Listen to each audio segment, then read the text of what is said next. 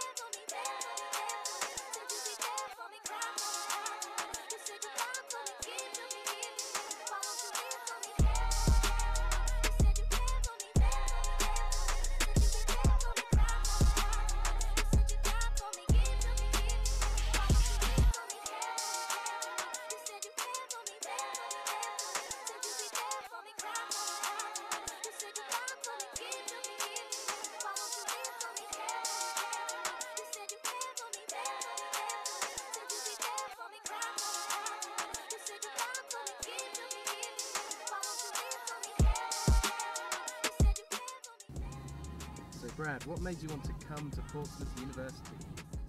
I think like living close to Portsmouth was part of my like thought process. Like I didn't really know what I wanted to do as such, so coming to a university that was quite close to home. Obviously, I'm living at home, so I could commute obviously with my car and stuff.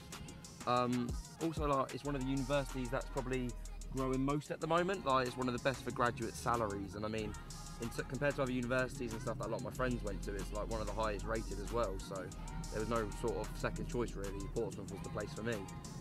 Yeah, what do you what do you think of the nightlife in Portsmouth? Do you uh, do you go out a lot?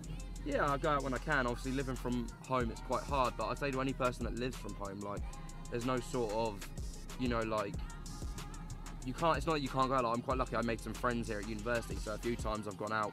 I've stayed at theirs. You know, it's just a lot easier for getting home and stuff. So I've still been able to enjoy the nightlife, and because I actually come from home as well. Sometimes my friends are here. I can bring them along as well. So it's always quite cool to interact the two. So that's nice as well.